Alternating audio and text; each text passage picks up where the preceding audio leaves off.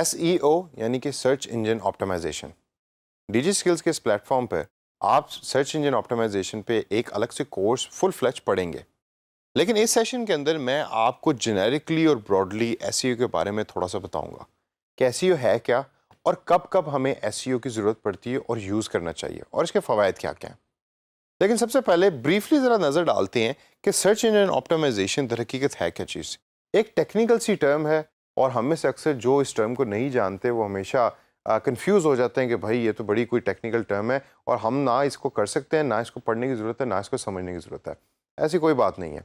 SEO is a simple thing जब भी कोई यूज़र सर्च कर रहा होता है किसी कीवर्ड को तो जो वेबसाइट उसके सामने अपीयर हो रही होती हैं ऑर्गेनिकली एक तो होती है ना एड्स जो हमने पहले गूगल एडवर्ड्स में पढ़ी, जिसमें पीपीसी का कॉन्सेप्ट यूज़ होता है पेपर क्लिक का। तो एस e और पीपीसी में फ़र्क इतना है कि एस e है ऑर्गेनिक तरीके से यूज़र को अपनी वेबसाइट को दिखाना। जबकि पेपर क्लिक या पीपीसी जो होती है, जो गूगल एडवर्ड्स के थ्रू हम करते हैं, उसमें आप पेड तरीके से अपनी वेबसाइट या अपना पेज यूज़र तक पहुँचा रहे होते हैं। अब जब कंपैरिजन हो रहा होता है एस e और पीपीसी का तो अक्सर लोग ये कहते हैं कि SEO is actually better than PPC और गूगल एडवर्ड्स पे पैसे ज़ाया करने से बजाय आप एक अच्छा एस e का करने वाला बंदा ढूंढ लें और वो सर्च इंजन ऑप्टिमाइजेशन करके आपकी वेबसाइट को ट्विक करके आपके रिज़ल्ट ऑटोमेटिकली ऑर्गेनिक तरीके से मेन पेज के ऊपर ले आएगा या फ़र्स्ट रैंकिंग अंदर ले आएगा। बात उनकी भी ठीक है लेकिन मेरा आपको एज ए डिजिटल मार्केटर ये सजेशन है कि आपने दोनों चीज़ों को हैंड इन हैंड लेके चलना है। जहाँ ऑर्गेनिक सर्चेज इंपॉर्टेंट है वहाँ एड ओरिएंटेड यानी पेड सर्चेज भी इंपॉर्टेंट है। जब आपने एस e सही तरीके से कर लिया आपने you have crack the nut के किस तरीके से एस uh, करना है अपनी वेबसाइट का तो ऑटोमेटिकली आपकी रीच भी बड़ी होगी और आपका पेज मेन पेज पे आ रहा होगा।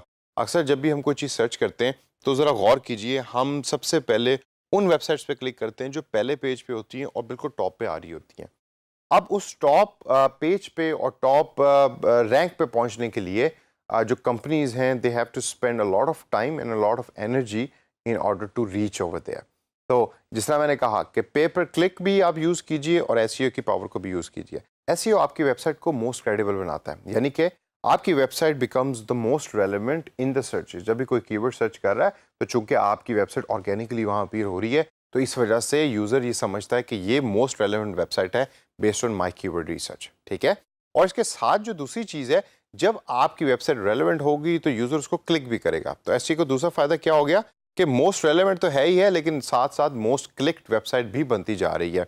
Again it is all for free तो पेपर क्लिक में आप पे करके वो काम करवा रहे हैं जब भी सर्च इंजन ऑप्टिमाइजेशन की पावर को यूज़ करके आप ये तमाम चीज़ें फ्री के अंदर करें यानी कि ऑर्गेनिक तरीके से करें।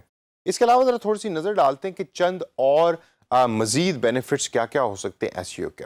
सबसे पहले और सबसे बड़ा बेनिफिट ये कि कुछ लोग हम से ऐसे हैं कि जिनको एड्स पसंद नहीं है। आप अपने आप ज़रा गौर कीजिए कि आप मैच देख रहे हैं टीवी पे बैठे दरमियान में एड्स चलना शुरू हो जाती हैं। बेशक वो आपकी फेवरेट प्रोडक्ट की एड हो लेकिन अक्सर ये होता है कि आपको वो एड्स पसंद नहीं आती इसी तरीके से इसी तरह के लोग डिजिटल इन्वायरमेंट में भी एग्जिस्ट करते हैं, जिनको एड्स पसंद नहीं होती तो जब भी आप कुछ चीज़ टाइप करते हैं और एड ऊपर अपीयर हो रही होती है तो हमें से अक्सर ऐसे लोग हैं कि जो उन एड्स को देख कर कहते हैं कि भाई इस पर तो मैंने क्लिक नहीं करना let's scroll down and let's find out कि कौन कौन सी वेबसाइट जो है ऑर्गेनिक तरीके से अपीयर हो रही हैं। तो ऐसी उस चीज़ का आंसर है, क्योंकि आपकी वेबसाइट के साथ ऐड का लफ्ज़ लिखा हुआ नज़र नहीं आ रहा होता, जिस तरह गूगल एडवर्ड्स की कैंपेन में होता है तो इसकी वजह से वो लोग जिनको एड्स पसंद नहीं हैं, वो आपकी वेबसाइट को अगेन मोस्ट रेलिवेंट भी समझेंगे और मोस्ट क्रेडिबल भी समझेंगे और फिर आपकी वेबसाइट पर क्लिक करेंगे। दूसरा बड़ा बेनिफिट एस का है लॉन्ग टर्म वैल्यू आपने इन्वेस्ट कर दिया एस के अंदर टाइम लगाया टेक्निकल नॉलेज गेन किया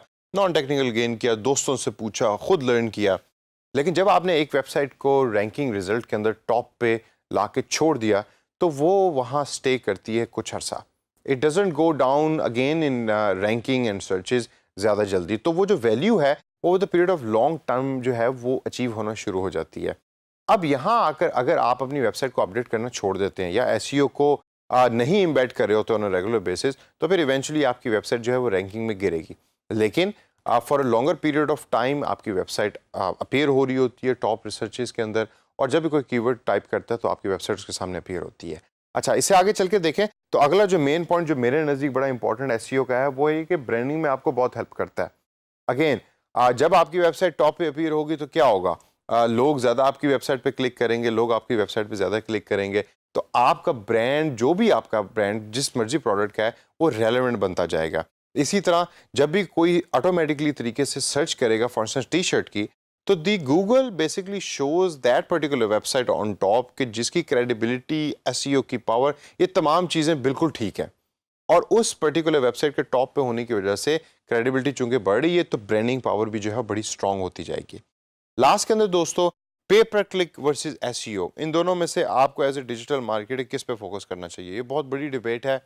जैसा मैंने पहले भी कहा कि हम में से मेजॉरिटी लोग ऐसे हैं कि जो कहते हैं कि भाई, सिर्फ़ एस को यूज़ करो पेपर क्लिक को छोड़ दो। मैं बिल्कुल ये सजेस्ट नहीं करूँगा। SEO is hard work search engine optimization is not easy it is hard work pay per click जो है, वो it's convenient also yes you do pay लेकिन आपका वो तमाम जो ऑब्जेक्टिव्स हैं, वो अचीव कर पाती है। तो आपने एस e को भी साथ लेके चलना है पेपर क्लिक को भी साथ लेके चलना है। डिजी स्किल्स का कोर्स जो है सर्च इंजन ऑप्टिमाइजेशन का उसको आपने गौर से देना है और गौर से पढ़ना है। ताकि आपके पास सर्च इंजन ऑप्टिमाइजेशन की टेक्निकल स्किल भी आ जाए और ये काम भी आप अपने तौर पे खुद घर पे बैठ के करना शुरू कर दें।